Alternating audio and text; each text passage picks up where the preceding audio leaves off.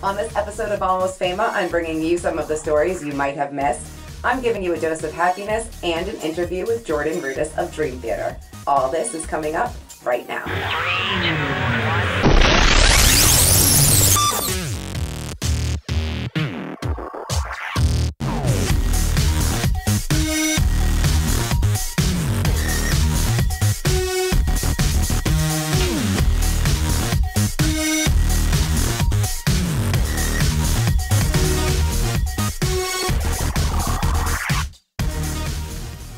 Hi everyone, welcome to Almost Fama. I'm your host, Jes Fama.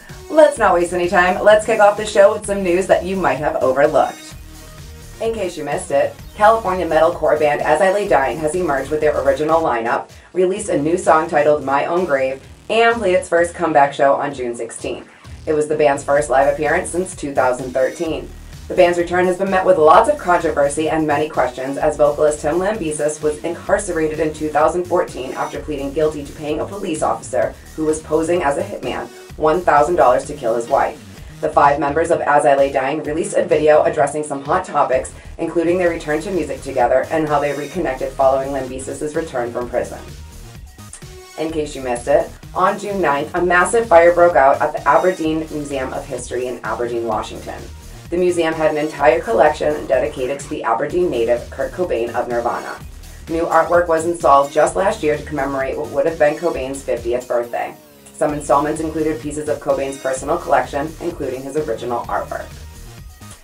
In case you missed it, the he said, she said, break out that lie detector test. Oh, no, you didn't. I want a paternity test. Show has been canceled. Yes, after 27 seasons and 17 years, the Jerry Springer Show is being canceled. Jerry Springer said when you reach this age, it's a year to year basis, saying he can't wait to spend more time with his grandchildren. He commented, On our show, the bad guys lose and the good guys win, calling episodes like little morality plays. But don't worry too much, CW will continue to air reruns. In case you missed it, Metallica has been awarded with the Polar Music Prize for 2018. It is one of the most distinguished and unique music prizes in the world, awarded to individuals, groups, and institutions in recognition of exceptional achievements. Drummer Lars Ulrich accepted the award, saying, Who would have thought that when Metallica started 37 years ago, that one day we'd be standing in front of both musical royalty and actual royalty, accepting one of the most prestigious prizes that can be bestowed upon musicians. Metallica are donating the prize money to charity. In case you missed it, Jurassic World scientist Dr. Wu is at it again. He paired dinosaur DNA with that of Doritos DNA, resulting in a one foot oversized nacho cheese flavored chip. Only 100 of the giant Doritos have been created. If you are lucky enough to win one, the chip arrives hiding inside a replica dinosaur egg nestled within a giant metal Jurassic Doritos crate with a certificate of authenticity. Two ways to win go to Twitter and tweet at Doritos with hashtags Jurassic Doritos and entry, or go to JurassicDoritos.com and bid on one. All the proceeds go to the American Red Cross chapter in Hawaii, where most of the locations of the Jurassic movies were filmed. The world is full of enough hate and sad news, so I always want to make sure to highlight the good that's out there, because a little happy can go a long way. So this is Almost Fama's Happy Spot, where I highlight a happy story, people, or organizations that are doing some good out there, or just something to make you smile.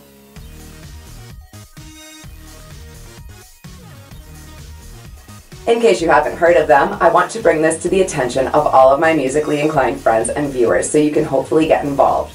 Musicians on Call is a nonprofit organization that recruits volunteer instrumentalists to play music for sick patients in 80 different hospitals across the United States. Artists such as Kelly Clarkson, Pharrell, Keith Urban, and Nick Jonas are just a few of the celebrity participants. The music is not just beneficial for mental health of patients, it's also good for physical health.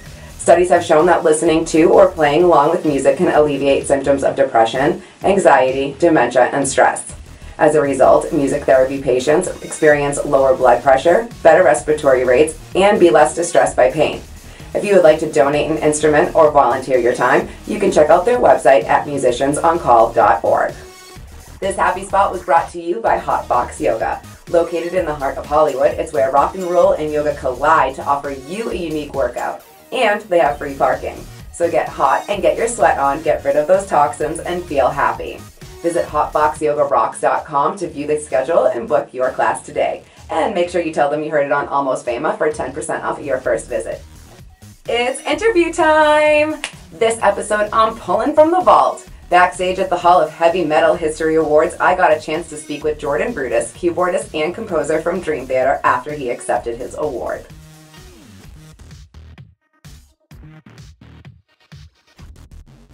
No, it's Second year yeah. it's happening, and here you are. You're already yeah. getting inducted into Wow. this.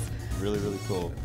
It I'm, is really I'm cool. honored. I'm flattered. You've been in Dream Yeah. Theater now. Well, Dream Theater in general has been going on now for well over 25 years. Oh I yeah, mean, totally. made And I've been with them for about 20 years now. 20 years. Yeah. Isn't that Incredible. crazy? How many Time bands last that long? It's not that many. Well, that's you know? amazing. Yeah, Yeah. yeah, and it's due to so many different factors. I mean, it's like, you know, the chemistry between the guys is certainly a big part of it. Just you know, the bands out there supporting it, and of Right. course, you know, the circle that goes beyond the band, which is like the management and the agents and all that, Right. kind of keeping this business, you know, alive and okay. 'cause it's But to go you know. through literally generations Mhm. of sound, of the Yeah. way music has been recorded, Right, and I want to talk about that because of your other company. Okay. Hold on, hold on. Wizdom Music Well, with you're a Z. With All a right. Z. Um, awesome. when I read about it, I just thought it was like really cool because you guys are trying to push the boundaries of everything that is Right, music right. for Yes. the tools that people are using. I guess I should say, right? Is that Definitely, accurate? that's okay. totally what it is. Yeah, a while back when I had my first iPhone, multi-touch screen, I was running my hand on it, and it was just making some really ridiculous sound. But I had some ideas for what it really could do and how to use that for kind of the next level of musical expression. Cool. And so that's kind of like the reason I started the company and what it's turned into a way to a way to create musical instruments for like in some cases everybody to make music and also professionals but offer something that they've never seen before. Right. That's why it's kind of wizardry. So know, how do you come up with these sorts of things? Like give me one idea, I guess, of like what what you've created to help push those boundaries. So, uh, like my latest app is called GeoShred. Okay. And it's uh, and I could even show everybody. Let's do really, it. really Come on, you got it on your Oh, phone. We know yeah, you do. yeah, so hold. I'll hold this. Yeah. So what it is, it's um, it's a very cool app, and if I call it up here, here it is, GeoShred Play. So uh, what's really cool is that you're able to have whatever scale you want on the playing surface, but while you have that, you can do all these almost like Steve Vai's kind of slide. Oh. Wow. All right, we got to get this. Hold on, we got to get this Yeah. right in here. Do it this way. Tell Yeah. Me, tell me when we're nice and close to nice the and close to the camera. camera Let here? me do a little backing track. Just a tad. Get the microphone on this Little thing. higher. Right, I'll turn the volume up too. Here we go. Raise it a little bit. Perfect.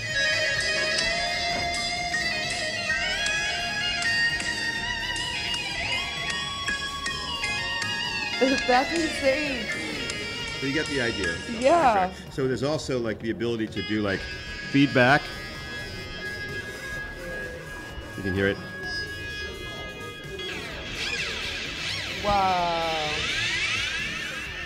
So to offer something that'll do do something musical that you couldn't do on anything else, and to make it something that a lot of people could enjoy. Because in this case, you can just slide your finger over the thing and I'm doing it.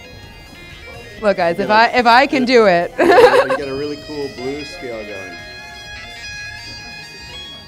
Right, exactly. I just sounded cool on the guitar. And actually, it is a guitar because it's a physically modeled guitar. That's the engine. So yeah, so that's the kind of thing I do with the apps. All right, I'm gonna give you this back now. Yep. How many So- instruments do you have at your house? I don't even Approximately. Know. I have so many keyboards, and a lot of them are on the road and storage out on the road, here, there, everywhere. I probably have about, I don't know, 70 keyboards. like, Wow. and when you go out, places. when you're out with Dream Theater, how many keyboards do you actually have when you're touring? Well, I take a lot of keyboards with me only in the sense that there's a lot of backup instruments. Right. So I use a, uh, an 88 note Korg Kronos, which has been like my like workhorse. It's like so steady and secure. Knock on wood, somewhere that it stays that way, but it will. And then. Um, so I have that, but I have backups with me because Dream Okay. Theater can't afford to, you know, have like the keyboard go down and like tell the audience, well, we can't do a show tonight because we're like keyboard the keyboard's not working, you know. Yeah, so there's keyboards, but but my main uh, focus on stage is on the Korg Kronos, and then I have an iPad and I have my apps like the GeoShred thing That's there. crazy what we can I do with music now, right? And then I have an incredible instrument that I had uh, something to do with as well. It's called a seaboard. Thanks. It's great. So I play that as well. And then I have um, what we call, it, used to be the Zen Riffer, uh, and now I call it the I Riffer. It used to be like a guitar kind of thing, which was very, very fun. Yeah. But now my tech, the amazing Keith Wexler, he took Shout my, out. uh, yeah, shout out. he took the my iPad Pro, took out the keyboard, ripped it out, and then put that in there. And so now I go on stage and I'm playing this cool looking thing, but it's the iPad Pro. Whoa. Yeah, fun. But that's Fun really stuff. cool. So he Yeah. basically hooked it up so you're really playing out of the iPad, but you're Yes, yes, mocking like you're on a But keyboard. it's got a, but it, well, it has just a cool shape to it. That's the you know like Right. right. But really, it's just the playing surface of the iPad Pro. You have talked about in interviews before, one last question before I let you go, um, about improvising and how important it is to be able to improvise. And right, I just wanted you to talk about that for a second because I feel like there are so many bands that are afraid to go off the beaten path, like newer bands, you know, like they're a little bit afraid of that. And I don't think that they should be because you never Mm. Know what might come out of that. Right. so well, I that's just very wanted to. true. So first of all, like Dream Theater in itself is not really an improvisational band. Although over the years we've been known to do some things like that. We're more a kind of, as a whole, we're more a kind of band that has a show. We play the show, but stepping away a little bit from from the Dream Theater as a whole. When I play my parts, Right. there's a lot of parts in there that are maybe comping or doing things that I'll play differently every night, and I'll play different leads every night, except for some things that I know that the audience needs to hear a certain way, Right, And other things that I just want to play a different way every night. It's a good challenge for me.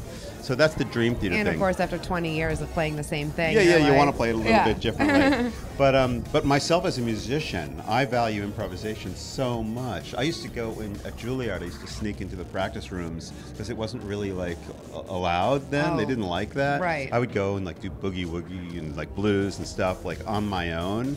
But I think improvisation is such an important, such a great thing to be able to do, and I just love it so much. Awesome. And a lot of my compositions just come out of improvisations.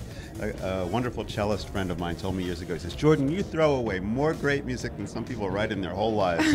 I was like, well, I don't know. I just like to play. You know, I could sit down all day and just make up whatever and Yeah. just not even think about it. Just so coming right- I'm not right worried from that ya. something else isn't going to come out of me. you know, Right. so. No writer's block, as it were. No, yeah. yeah, keep knocking on that. Yeah, I hope this is what and I'll not keep plaster. knocking on I don't know. or plastic or whatever. Yep. totally. Awesome. Well, I'm really excited for you tonight to be inducted. Oh, it's going to be really fun to watch, and I just want to say thank you so much for so taking much. some time and talking with Awesome. me. Okay. Jordan Rudess, check him out in Dream Theater, and make sure you go check out his Wizdom, Wizdom Music, Music, yeah. you guys. GeoShred, GeoShred GeoShred. on the App Store. Check it out. Okay. Right. So make sure you download one of the many amazing Wizdom music apps that Jordan has helped to create, including GeoShred, MorphWiz, SketchWiz, Geosynthesizer, and many more. You can see Jordan this upcoming fall for the Al Di Meola Opus Tour, and check out jordanrudess.com for dates. Normally, this is where I would say goodbye and where I would end my show, but I'm asking for just a moment, please. David Spade made a $100,000 donation to the National Alliance on Mental Health Illness, the largest mental health organization in the United States, after the death of his sister in law, Kate Spade. But that's not really what this moment is entirely about. Kate Spade, John Paul Stewart, Avicii, Chester Bennington, Robin Williams, Anthony Bourdain, and Chris Cornell are just some of the famous names you probably recognize from the past few years who have taken their own life. I'm not trying to get too heavy here. I'm just asking that we all take a moment to listen to your family and friends. Sometimes people are screaming to be heard, but no one hears them. An ear to listen, a shoulder to lean on, is sometimes all someone needs. Sometimes they need more. We get so consumed and wrapped up in our own lives, we forget to sometimes really ask and really listen to those closest to us because we think we know them so well. Bringing it back to David Spade and his statement to People magazine asking about his donation, I think he said it right. More people suffer from mental health issues than we may realize, but no one should ever feel ashamed to reach out for support.